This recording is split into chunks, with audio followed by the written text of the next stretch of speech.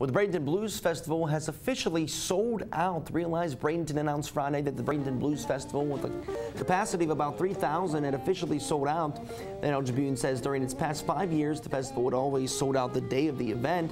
And that festival or festival weekend is December 1st through the 3rd in downtown Bradenton, featuring nationally acclaimed blues artists, local artisan and food vendors, as well as craft beer and wine at the Riverwalk Park.